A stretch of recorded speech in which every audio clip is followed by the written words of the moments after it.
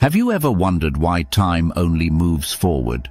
Why we remember the past, but never the future? It's one of the deepest mysteries in physics, and the answer might lie in the quantum arrow of time. At the microscopic level, the laws of physics are time-symmetric. Equations for gravity, electromagnetism, even quantum mechanics. They work the same whether time flows forward or backward.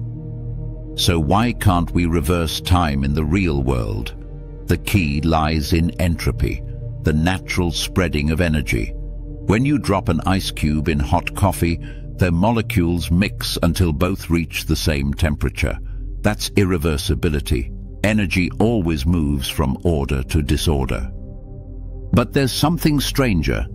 Even quantum particles show signs of this one-way behavior.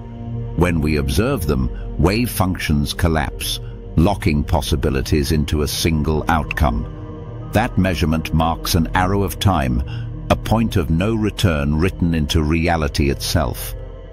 Some physicists believe the flow of time isn't fundamental at all, but a side effect of entropy and quantum observation giving direction to an otherwise timeless universe. So maybe time doesn't really flow. Maybe it's just unfolding in one direction because that's the only way our reality makes sense. If you enjoy this type of content, subscribe and comment below what you found most fascinating about this video.